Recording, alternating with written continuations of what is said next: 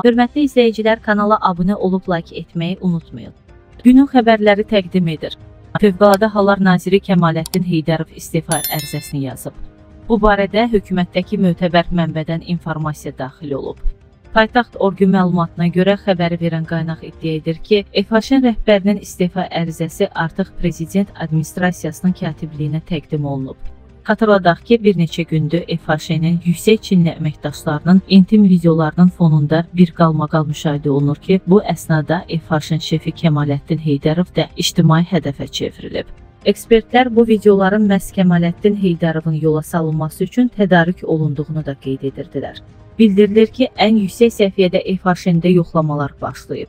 Nəyin necə olmasın bundan sonra qanun söyləyəcək deyən mənbə bir çox gizli nüansalara da toxunub.